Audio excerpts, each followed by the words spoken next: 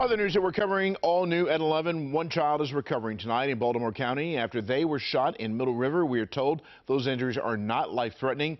WJZ is live. Caroline Forbach joins us near the scene. And Caroline, what have you learned tonight?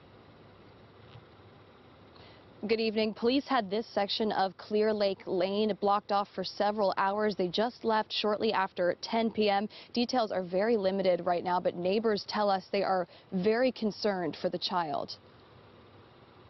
It was just this horrible, horrible screaming.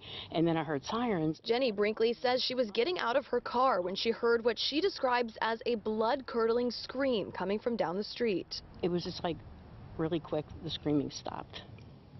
And so I went around to see because I just was curious and I didn't see anything, just the police, like tons of police cars. According to Baltimore County Police, officers responded to reports of a shooting on the 7500 block of Clear Lake Lane around 6:30 Friday evening. When officers arrived, they found a child suffering from a single gunshot wound. But I'm concerned for whoever was injured and hopefully this, that it is non-life threatening.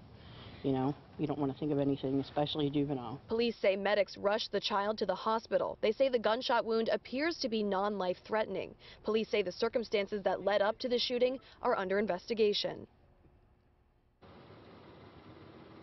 And police are still working to piece together how this child ended up with a gunshot wound. We're going to bring you more information as soon as it becomes available. For now, reporting live here in Middle River, Caroline Forbach, WJZ.